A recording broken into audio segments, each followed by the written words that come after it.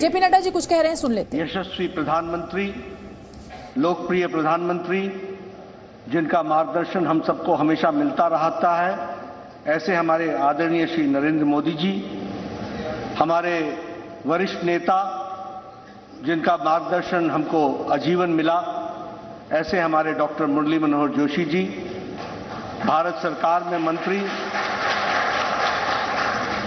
श्री अमित शाह जी भारत सरकार में मंत्री श्री नितिन गडकरी जी, यहाँ उपस्थित सभी मंत्रीगण, सांसदगण, बड़ी संख्या में हमारे स्थानीय वरिष्ठ कार्यकर्ता बंधु, पदाधिकारी बंधु और विभिन्न सभागारों में डिजिटल मीडिया के माध्यम से इस सभा, इस कार्यक्रम में जुटे हुए हमारे सभी वरिष्ठ कार्यकर्ता बंधु और इलेक्ट्रॉनिक मीडिया के माध्यम से हमारे लाखों कार्यकर्ता देश भर के जो जुटे हैं, सबसे पहले इस ऐतिहासिक कार्यक्रम में मैं अपनी ओर से और आप सब लोगों की ओर से आदरणीय प्रधानमंत्री जी का हार्दिक अभिनंदन करता हूँ, स्वागत करता हूँ।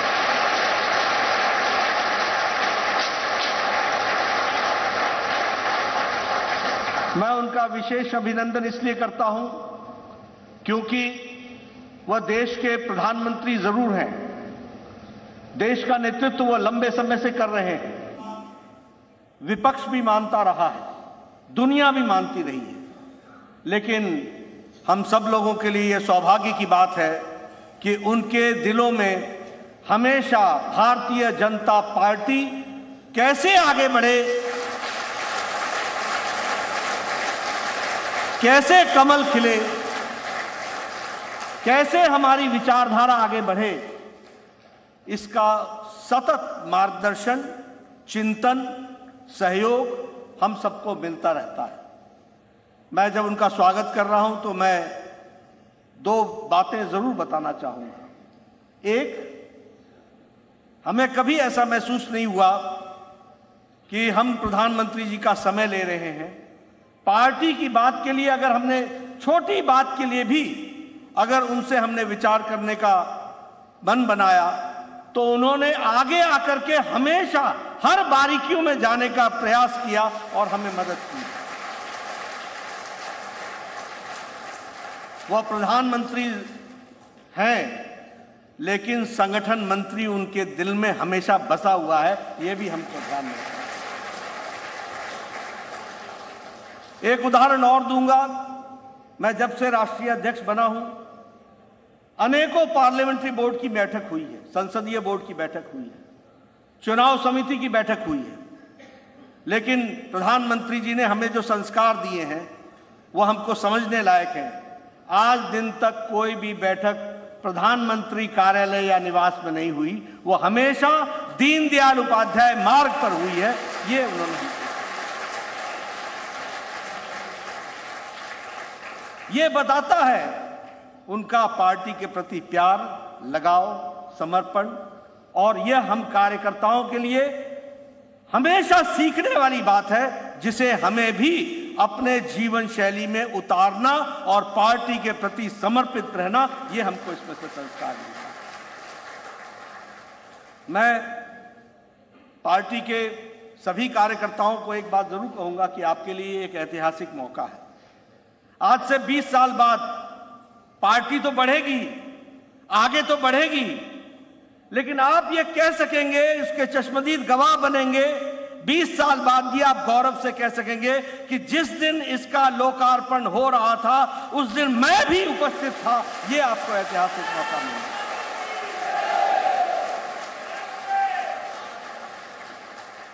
मुझे याद है 2014 में नितिन जी ने मुझे जिम्मा दिया था कि 11 अशोक रोड का उसका उसको मॉडिफाई करो।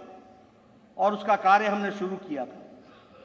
उस समय हम लोगों ने बहुत ताकत लगा करके उस कार्यालय को बनाया था। और उसमें जो चीज़ हम जोड़ सकते थे उस जगह की कमी को देख जग, जगह कम होने पर भी उसको हम पूरा कर रहे थे। उस समय प्रधानमंत्री जी गुजरात के मुख्यमंत्री थे। और वो एक चुनाव समिति की बैठक में आए थे। उन्होंने कार्यालय देखा, बड़ी बारीकी से देखा।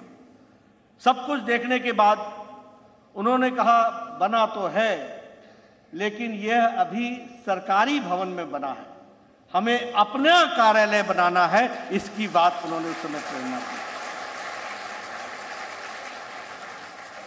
और मुझे याद है कि जब 2014 में आप प्रधानमंत्री बनकर के आए तो आपने हम सब लोगों के बीच में इस बात को रखा था। मैं महामंत्री था उस समय। अमित जी उस समय राष्ट्रीय अध्यक्ष बन गए थे। उन्होंने एक कार्यालय में, एक कार्यक्रम में वो जब उपस्थित हुए तो उन्होंने कहा कि अब समय आ गया है कि जब हमें अपना कार्यालय बनाना चाहिए। और अपना कार्यालय सिर्फ़ देश का नहीं बनाना चाहिए, सारे प्रदेश कार्यालय भी बनने चाहिए और हर ज़िले में भारतीय जनता पार्टी का कार्यालय बनना और मुझे खुशी है कि अमित भाई ने एक बृहत योजना बनाई। जो प्रधानमंत्री जी की इच्छा थी, उसको साकार करने का संकल्प लिया।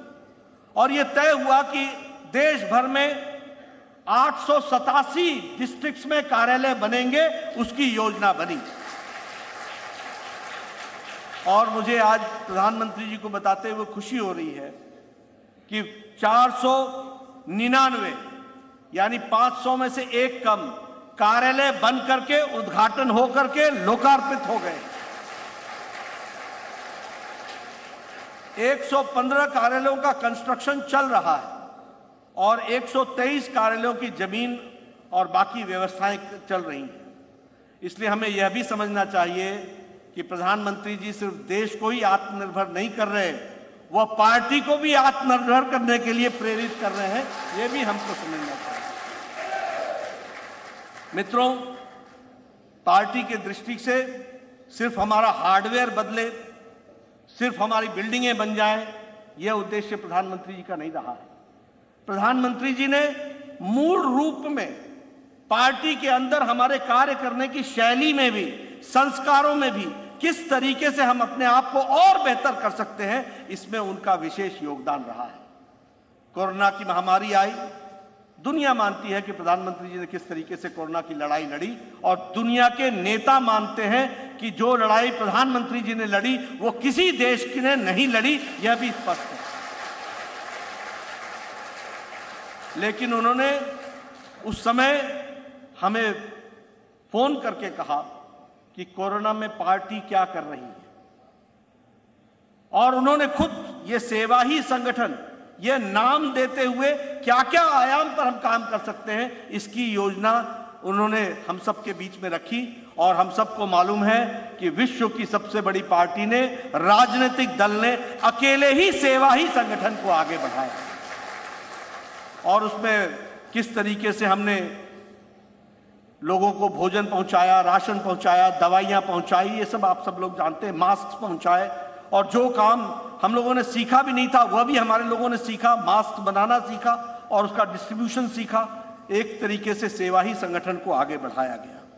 और इसी को आगे बढ़ाते हुए अब भारतीय जनता पार्टी का सेवा सप्ताह, यह एक सतत कार्यक्रम बन गया है। उसी तरीके से हम समाज के सभी व्यक्ति सभी वर्गों के लिए हैं। इसलिए प्रधानमंत्री जी ने हमको प्रेरित किया कि हम सामाजिक न्याय की लड़ाई लड़ाई लड़ें। और आपको मालूम है, आज ही सुबह मैंने सांसदों से चर्चा की कि 6 तारीख को स्थापना दिवस से लेकर 14 तारीख को भीमराव अंबेडकर जी के जन्म जयंती तक हम सेवा सप्ताह मनाते हैं और उसमें हम सभी सामाजिक न्याय की लड़ाई की जो विषय हैं, उन सब, सबको रखते हैं। उसी तरीके से एक भारत श्रेष्ठ भारत के तहत एक नई प्रेरणा हमको दी। अगर हमारा कोई तमिलनाडु का भाई दिल्ली में है तो हम तमिलनाडु की स्थापना दिवस सिर्फ़ हम तमिलनाडु के रूप में क्यों मनाए? वह दिल्ली में भी मननी चाहिए, उनको जोड़ना चाहिए, और इस तरीके से सांस्कृतिक कार्यक्रमों से हमको साथ लाना चाहिए। उसको भी पार्टी ने आगे जोड़ा। उसी तरीके से स्नेह, मिलन के कार्यक्रम के माध्यम से समाज के विभिन्न वर्गों में काम करने की योजना में उन्होंने हमें प्रेरणा दी है, जिसको हमने आगे बढ़ाया है। मैं आपसे, आप प्रधानमंत्री जी की प्रेरणा से अब no BJP no means K N O W Bharatiya Janata Party को जानो। इसकी प्रेरणा आपने दी और आपको जान करके खुशी होगी कि इसी दीनदयाल परिसर में छप्पन से ज़्यादा राजदूत भारतीय जनता पार्टी को समझने के लिए आए हैं और पाँच देशों के विदेश मंत्री, फाइनेंस मिनिस्टर और प्रधानमंत्री भी इस कार्यालय में आए हैं और भारतीय जनता पार्टी का एक जिसको कहते हैं अंतर्राष्ट्रीय स्तर पर उस चर्चा को शुरू किया है। आपकी प्रेरणा से हम अब डेलीगेशन पार्टी टू पार्टी दुनिया के सभी पॉलिटिकल पार्टीज़ के साथ कर रहे हैं। इसलिए मैं प्रधानमंत्री जी को यह विश्वास दिलाता हूँ कि हमारे कार्यालय तो बने हैं, लेकिन कार्यालय में बनने वाले कार्यकर्ता भी सुदृढ़ और अच्छे होकर के, सुसंस्कृत होकर के, भारतीय जनता पार्टी की एक जीती जागती तस्वीर बन करके वो भारत की सेवा करें, इसके लिए हम काम कर रहे हैं। अमित भाई ने एक कल्पना रखी कि हमारा रिसर्च सेंटर होना चाहिए। और जो कल्पना उन्होंने रखी है, उसको हम लोग साकार करेंगे। ये दुनिया का one of the high quality विचारों से युक्त, हमारे संस्कारों से युक्त रिसर्च सेंटर बनने वाला है। इसको भी हम आगे बढ़ा रहे हैं। मैं आपके और प्रधानमंत्री जी के बीच में ज़्यादा देर न रहता हुआ, मैं पुनः प्रधानमंत्री जी का स्वागत करता हूँ। उन्होंने हाँ उनका हम सबको मार्गदर्शन मिलेगा और उनके मार्गदर्शन से जो पार्टी कार्य को आगे बढ़ा रही है, उसके बारे में मैंने कुछ चर्चा की। आप सब लोगों से मेरा यही निवेदन है कि जो प्रधानमंत्री, और निवेदन नहीं, ये निर्देश है कि हम सब लोग प्रधानमंत्री जी के जो हमको विचार मिलते हैं, उसको जमीनी स्तर पर पूरा करने के लिए हम सब तत्पर होंगे। और इस बात का विश्वास मैं प्रधानमंत्री जी को भी देता हूँ। इन्हीं शब्दों के साथ धन्यवाद।